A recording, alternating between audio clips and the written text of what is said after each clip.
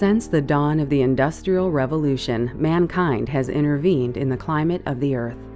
Man made climate change is happening. But what if politics prevents us from acting quickly enough? Could technology help us cool the planet? Who should decide if this technology should be used? Your opinion matters. This video presents ideas that need to be discussed and invites global communities to engage in that discussion.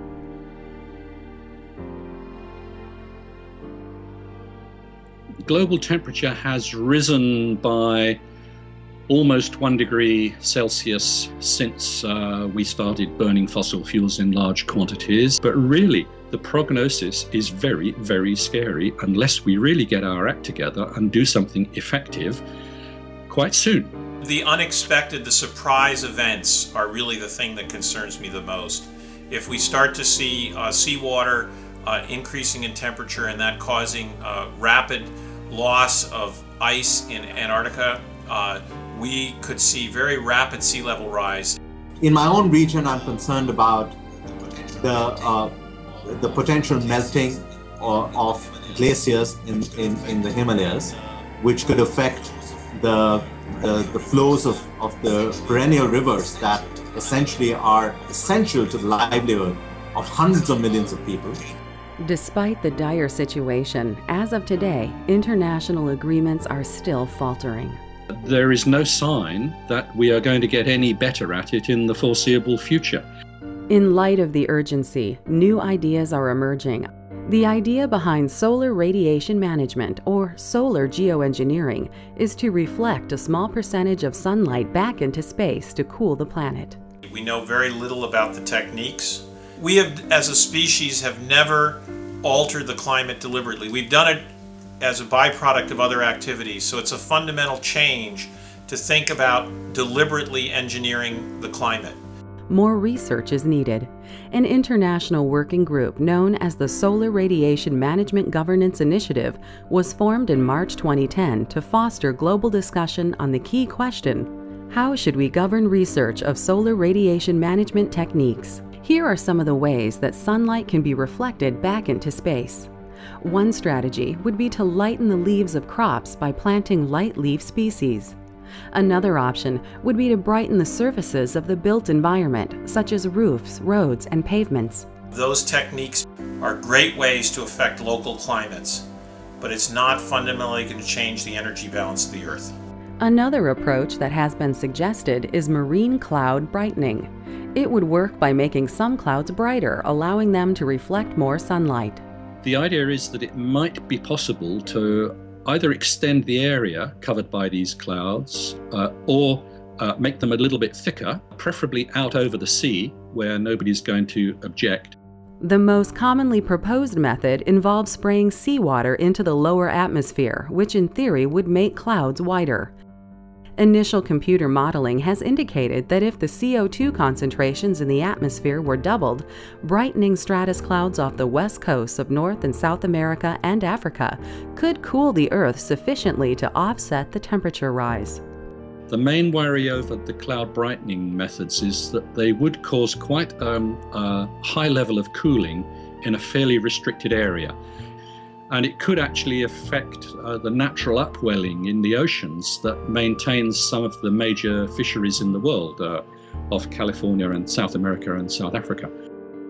Another potential method that can be applied on the planetary scale consists of mimicking the natural cooling effect of volcanic eruptions. By putting reflective tiny particles, aerosols, in the upper atmosphere so they can circulate on the stratospheric winds, we could theoretically block out a small proportion of incoming sunlight.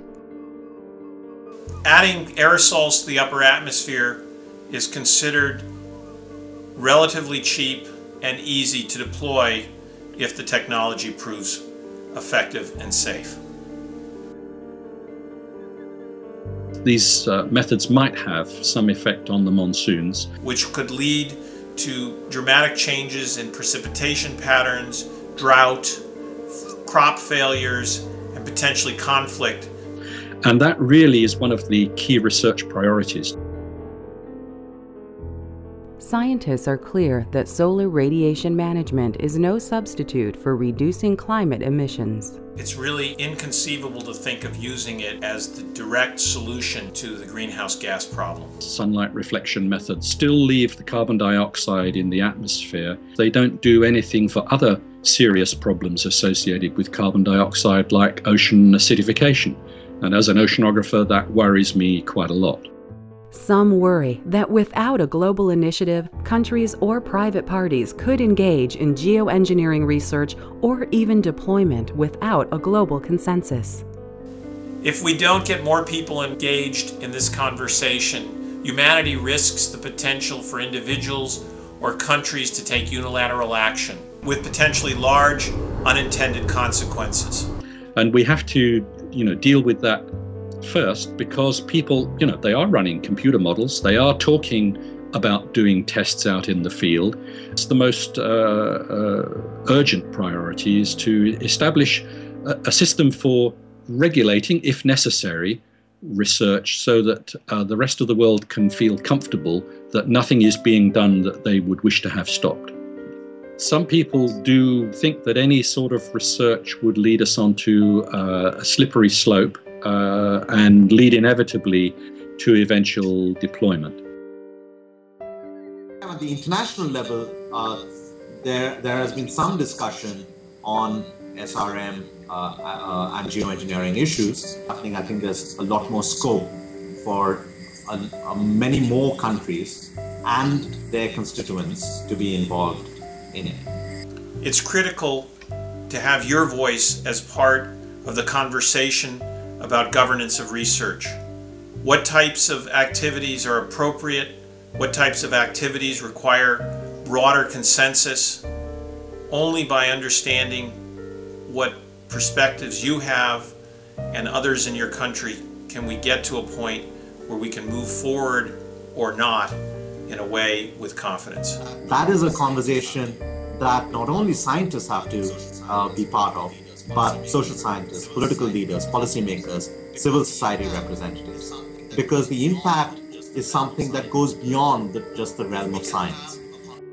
Solar radiation management research is really about understanding not just the possibilities for the technology to positively impact the climate, but to understand the unintended consequences that we are likely to see from deployment. Here are some points we would like to discuss together. How can we secure global involvement and a voice for marginalized countries? How do we increase openness of information on the research happening? What is our best approach to foster the debate? What kind of principles and regulations are we seeking? How do we intend to enforce these regulations? Do we want a moratorium?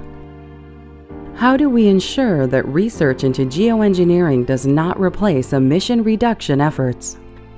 The Governance Initiative does not advocate geoengineering. We encourage you to please join the conversation. www.srmgi.org